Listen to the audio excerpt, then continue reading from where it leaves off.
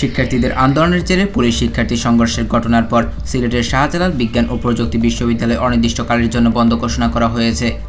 রোববার ষোলো জানুয়ারি রাতে জরুরি সিন্ডিকেট সভা শেষে উপাচার্য ফরিদুদ্দিন আহমেদ কথা জানিয়েছেন। জানা গেছে, বিশ্ববিদ্যালয়ের শিক্ষার্থীদের সোমবার সতেরো জানুয়ারি দুপুর বারোটার মধ্যে হল ছেড়ে চলে যেতে নির্দেশ দেওয়া হয়েছে। উপাচার্য ফরিদুদ্দিন আহমেদ জানান, যার পদত্যাগের দাবিতে শিক্ষার্থীরা আন্দোলন করেছেন। সে প্রাধ্যক্ষ জাফরিন আহমেদ লিজা পদত্যাগ করেছেন। তার পরিবর্তে বেগম সিরাজুন্নেসা হলের দায়িত্ব দেওয়া হয়েছে। পদার্থ বিজ্ঞান বিভাগের অধ্যাপক নাজিয়া চৌধুরীকে।